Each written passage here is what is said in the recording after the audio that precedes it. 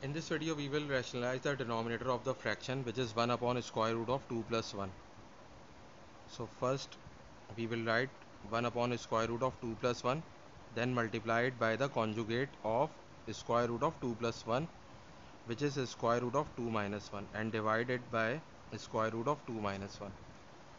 Now square root of 2 minus 1 multiplied by 1 is square root of 2 minus 1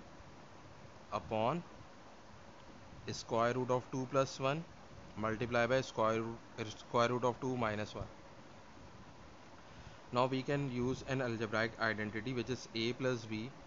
multiplied by a minus b is equal to a square minus b square.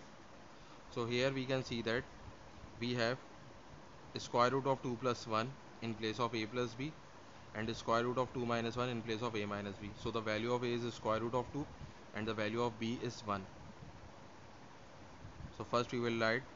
the numerator square root of 2 minus 1 upon and in the denominator we can apply this formula. So we have a square which means square root of 2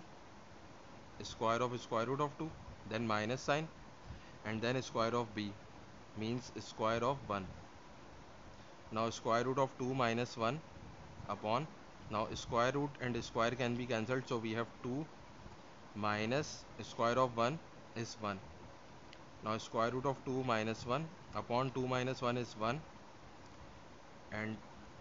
this divided by 1 is square root of 2 minus 1 which is the required answer